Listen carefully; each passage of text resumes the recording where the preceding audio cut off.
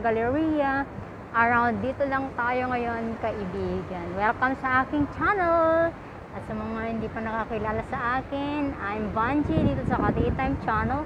Nag-upload ako ng mga videos sa aking pagluluto.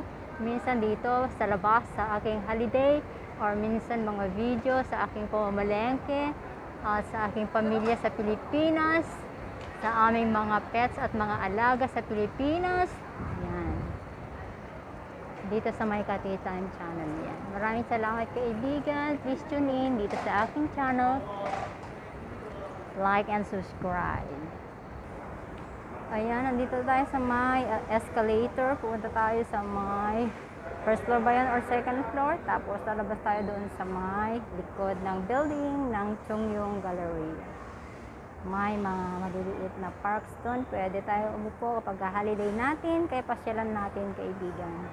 Ayan, tingnan muna natin ang napakagandang plant na ito. Actually, artificial yan. Napakaganda kaibigan. Nandito tayo sa Chunwan. Tapos kung gusto mong mag-McDonald's, yan lang si Manong McDonald's.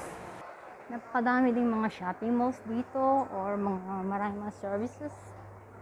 Ayan, marami ding mga kainan, kaibigan. Yan. Napakaganda din dito. Magandang shop. Pwedeng bumili ng mga pang-digital or mga yan. Marami. Maraming mga kainan, mga kaibigan. Ayan, dito sa loob ng Lukyong Galleria, ang daming mga kainan. Mamili ka na kung saan gusto. Pero kakain ako ng baon ko, kaibigan. Ayan, dito sa mga Lukyong Galleria, ay ito ang mga kapaligiran, kaibigan.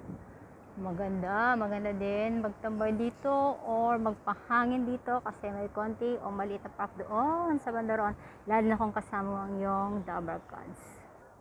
Dito sa tabi ng Lokyong Galleria ay ganyan ang scene o kabuuan kaibigan. Napakaganda ng blue sky, napakatirik ng init. Ayan. Katabi pala niya ang Chinese YMCA of Hong Kong dito sa may Junwan. At ito ang mga paligiran kaibigan. Yan.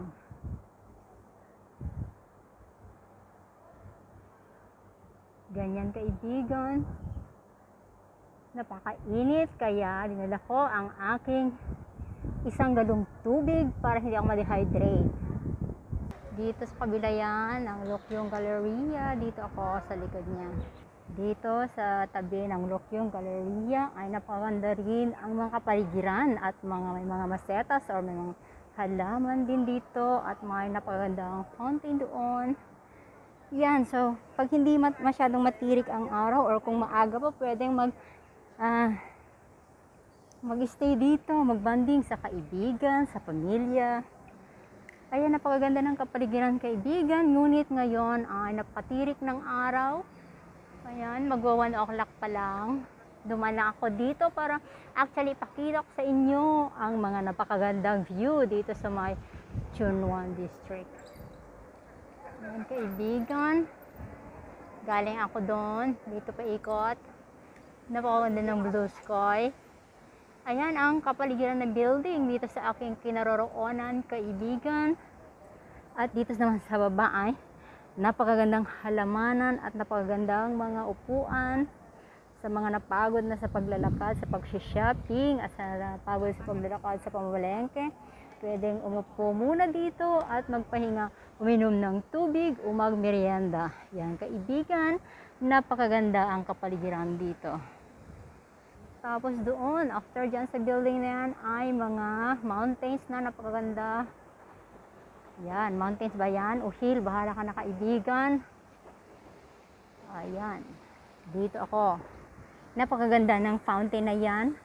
Pagka malilim at walang masyadong init, hindi matirik ang araw, pwede upo dito, kumain, kainin mo yung baon mo, or kainin mo yung binili mo sa McDonald's, sa Cafe de Coral, or sa Starbucks, or binaon mo na niluto mo, ay talagang napakasarap at napakasaya din kasama ang iyong dabarkads dito na magtambay paglipa, pagpalipasan ng oras lalong lalo na kapag ka-holiday na katulad ng araw na ito Sunday araw ng mga kung yan. Ayan, araw ng mga OFW mostly dito sa Hong Kong. Maraming lalabas kapag ka ganitong mga Sunday kasi mostly Sunday napakadaming mga OFWs na nag-holiday kaibigan. Yan, napakaganda ng sinayan. Tapos kapag ka mainit or naiinitan ka naman dito, meron maliit na park din na pinupuntahan namin. Kapag ka nainitan kami dito or gusto naming maglatag or gusto naming umupo, agdalupisak doon sa bandaroon. Tingnan natin kaibigan. Yan, ito ang ating mga nadadaanan kaibigan. Nakika, nakikita natin dito sa ating kinaroroonan. Dito, may, dito sa may Chunwan, napakagandang mga halaman. Yan, napaka-refreshing. Yan, kaibigan. Hindi ka magsasawa. Oh, napakaganda din ng mga taniman dyan, oh, sa loob. Ayan, napakaganda. May kamote, may mga, ah, ano, sari-saring mga gulay din pala sa loob dito, kaibigan. Pero hindi ako pwedeng pumasok kasi may auntie doon sa loob.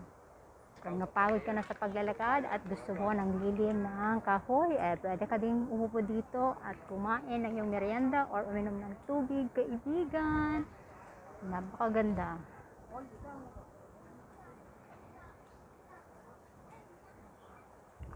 May playground din dyan. Pwedeng dalhin ang mga alaga at maglaro kapag taga rito ka sa Chunwan. Kaibigan, yan. May napakaganda ding laruan doon.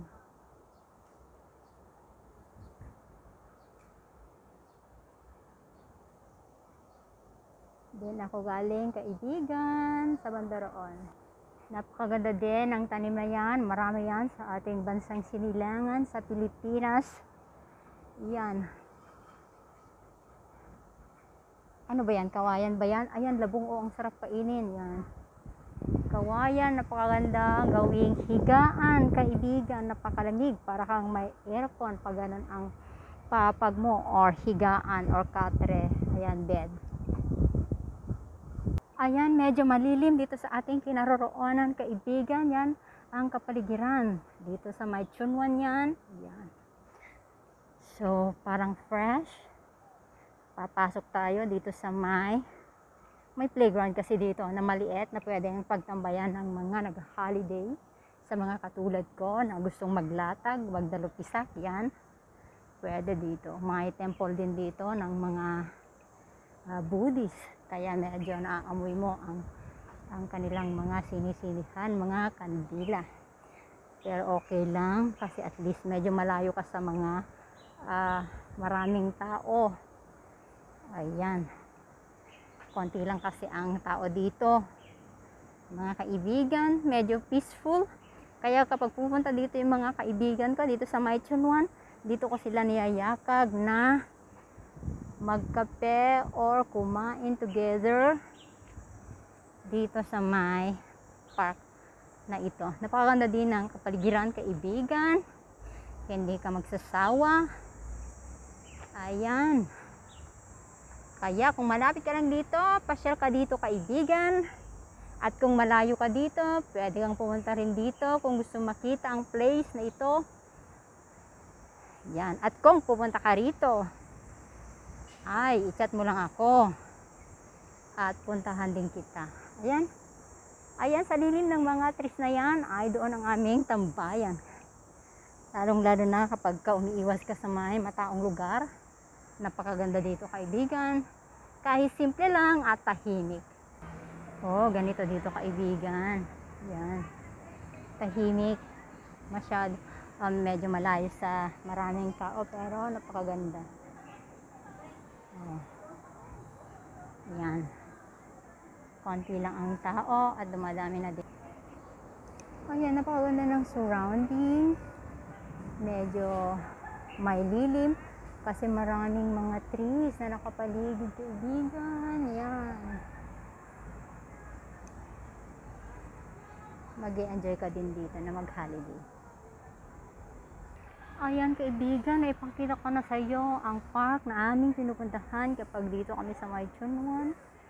Medyo tahimik, malilim at maaliwalas, medyo malayo sa may pollution. So kung nagustuhan mo ang aking video, kaibigan, mag-like, mag-comment, at mag-subscribe ka din sa aking channel para mas dami pa or dadami pa ang aking mga subscribers.